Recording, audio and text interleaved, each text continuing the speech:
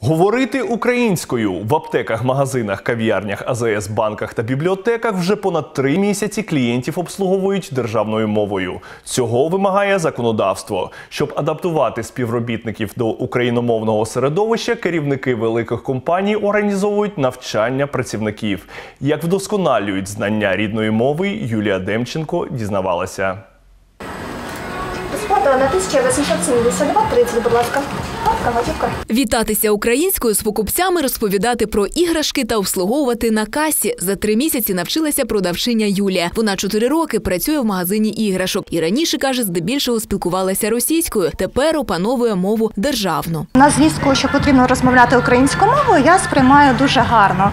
Тому що ми живемо на Україні і це наша рідна мова. Останнім часом навіть з колегами ми практикуємо кожного дня е, спілкуємося між собою українською мовою. Для того щоб спілкування було живим, а мова багатою, керівники торговельної мережі звернулися по допомогу до мовознавців. Майже сотня співробітників протягом трьох місяців проходять тренінги. Результатами кажуть, задоволені спілкуватися з клієнтами стало легше. Опанували професійну лексику та залюбки відшліфовують навички на практиці. Ми маємо випадки, коли е, клієнти переходять на українську мову, коли чують, е, що ми спілкуємося українською. Під час онлайн-занять викладачка української Наталія Гейман спілкується з учнями по-приятельськи, імпровізує та час від часу у розмові виправляє русизми і наголоси. Під час вимови слів визначені склади виголошують голосніше та виразніше або виразніше. Бачите, якби я сказала виразніше, ви б мене не зовсім зрозуміли. Три місяці тому, каже Наталія, сотня її учнів мали різний рівень знань. Тепер помічає, помилки у їхньому мовленні зустрічаються рідше. Відпрацьовуємо ту лексику, яка їм близька. Це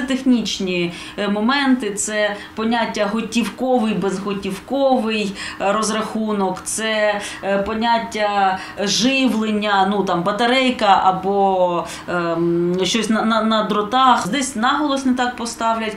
Десь не можуть підібрати слово якесь з російської на українську перекласти.